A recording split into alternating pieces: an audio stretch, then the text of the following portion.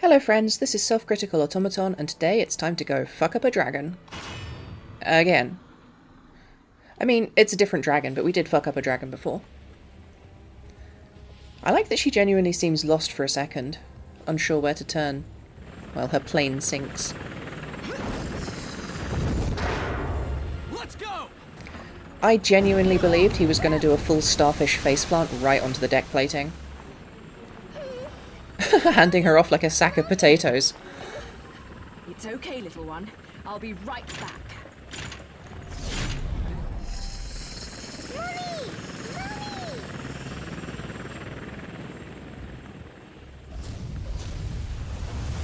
Luca's capabilities just keep growing stronger and stronger.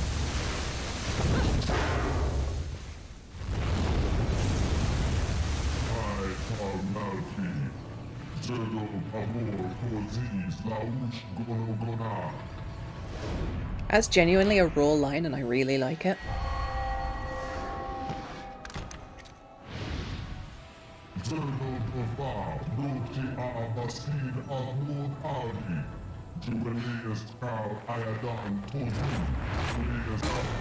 The absolute disrespect.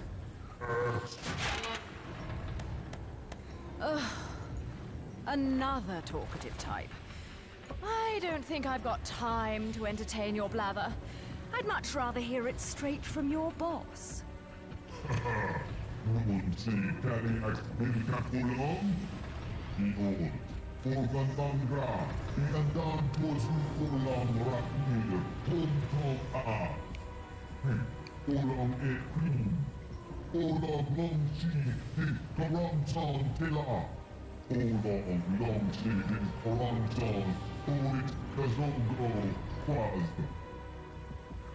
witch hunts. Rest and heal. King Salman Emad Gilpa, Ukule Ayadon Tozu, Tu Pax Uposi, Uauna Aldi, Galdam, Uauna Kaosko, For once, that wasn't the end of the cutscene, expecting you to dodge instantaneously.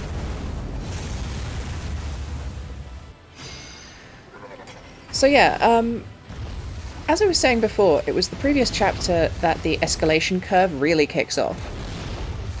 We've gone from fairly ordinary uh, exploration of fairly ordinary locations, for at least for game standards of ordinary, to, you know, wizard battles in heaven, fighting on the back of a uh, moving aeroplane, absurd sky high kung fu nonsense. Uh, and now we're having a. What do you even call this? A surfboard rocket launcher battleship dragon battle. It's, um. It's pretty cool and I like it. Um, this is actually my favourite boss in the game by far. I really like its design, both visually and in terms of gameplay. There's um, there's lots to recommend on both of those factors. In terms of mechanics, I think that it really gains a lot by um, simply not being as uh, restrictive as the previous bosses. Every other bo boss we've fought so far has had a really small area that you can move in, and has had these really prescriptive kind of almost two-dimensional zones that you need to use. Whereas this boss, you can just freely go all around him, doing all kinds of ridiculous stunts and um, you actually get a lot more. Um, essentially, his attacks are much more dodgeable, which makes for a more fun fight because you feel less um, like you just have to tank the damage. You feel more skillful because you do more stuff. Um, additionally, surfing is just fun. So.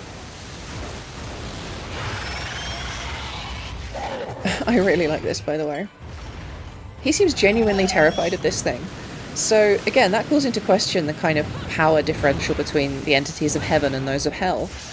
Like, this isn't even the end of the fight, but he really doesn't want to go near this giant horrible spider. And I mean, neither would I, if I was threatened with a giant horrible spider. But, um... Yeah, why does heaven fear hell so much if they're not, you know, weaker? Why is there a power differential? So, in terms of his visual design, um, there's two major influences. One is quite obviously the um, pre-existing angel design, which is uh, the kind of baroque gilt scroll work combined with, you know, beautiful smooth marble. Also, I just want to point out his wings form a uh, shark fin whenever he goes underwater, which is a really nice touch. It's just a clever little visual gag. It also seems like his wings are entirely artificial, unlike the rest of him. So, um, yeah, we have the same uh, gilt baroque aesthetic, but then we also have this interesting little addition of um, there's a very particular uh, mechanical industrial aesthetic in a lot of ja- uh, Japanese science fiction. I've been a huge fan of that visual aesthetic for a really long time. I find it really pleasing to the eye. These kind of pseudo real, hyper detailed mechanical interactions. Um, you know, gimbal joints, spinning Waldos, all of these different components. And um, I think it's really, just really cool to combine that sort of um, mechanized aesthetic with a big baroque dragon. It just works really well in my opinion. So, he also mentioned that um, Vigrid had become. He implied that Vigrid's technology had become a source of strength to Heaven, or to Paradiso. So he's also the only uh, the only one of the bosses that seems to have been modified in some way, rather than just existing in the way that it does. Uh, because as you can see, he has mechanical additions to his joints, and his wings appear to be completely mechanical. So, there's a lot you could infer about that, about the nature of his character. Perhaps he felt weaker than the other angels, perhaps, well, any number of things. Um, but it also um, represents uh, an increasing allegiance between the human world and the... Uh, oh, I don't like that. Between the human world and uh, other dimensional entities that have preferred to remain in the shadows. So, in this phase, this is the final phase, we just need to get as close to the bottom as possible. Um, triggering witch time off of these uh, laser beam attacks is a good way to gain distance. It's one of the few ways you can actually noticeably increase your uh, the amount you're gaining over him. But yeah, um, even in as technological looking a creature as this, I like that they still have the weird internals of the angels with these eye tentacles coming and poking out. Kind of phallic, actually. But yeah, um, this guy's an absolutely beautiful design, and I just enjoy looking at him. So, yeah, what did I do? I talked about his physical design and the boss design. Ouch. Okay. Oh, God. Three in a row, huh? Got that one. So yeah, um, in this final stage, you just wail on him until the end. But, um...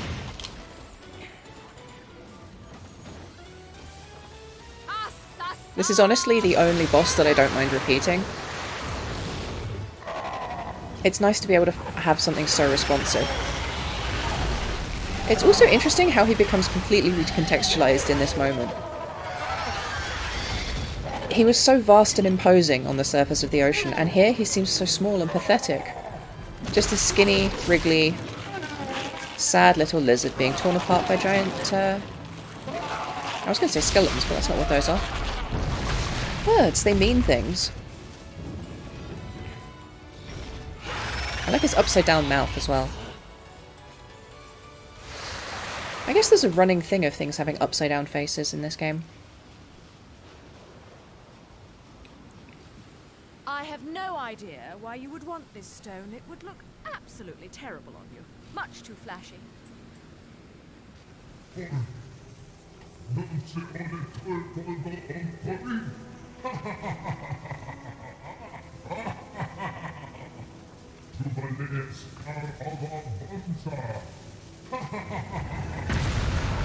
So Bayonetta clearly still has no idea what's actually going on. Still bouncing from location to location, destroying things with no clue what's happening. She's kind of just a grenade of a person at this point. Welcome aboard, Cheshire. Oh, fucking hell! That's a face and a half. Mummy! I told you I'd be right back. Shouldn't you be, you know, flying this thing? I'm a bit occupied at the moment. Mummy!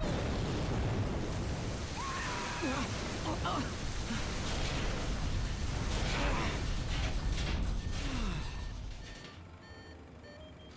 Well, so much for the subtle approach.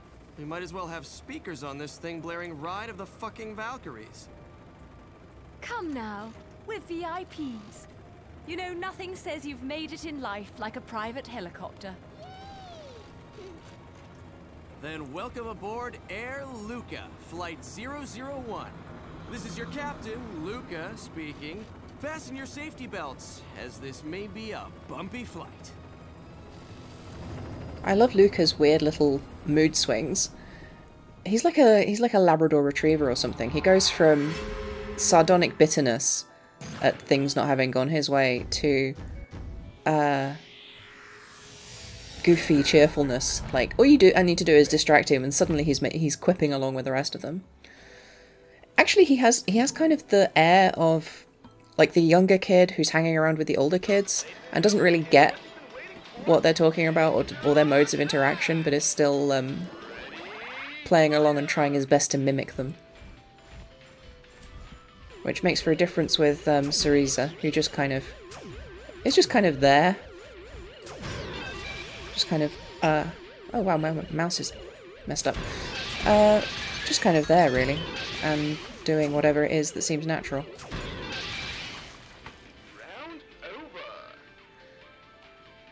But yeah, um, as I, what I meant when I said that she was a grenade of a person is that she's she has no idea what's going on. She doesn't care to understand. She doesn't understand and she doesn't care to understand. And she's also incredibly destructive without much uh, regard to the context. You just put her in a location and she destroys everything. Anyway, that is going to be all from me for today. I'll catch you later. If you enjoyed this video, please like and subscribe, and there's links to my other projects in the description. Thank you so much for watching.